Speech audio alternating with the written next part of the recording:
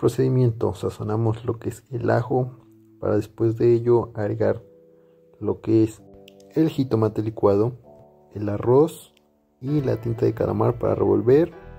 Agregamos nuestro caldo, agregamos nuestros camarones y dejamos durante aproximadamente unos 15 a 25 minutos y nuestro platillo estará listo. Cabe mencionar que los camarones fueron sazonados antes.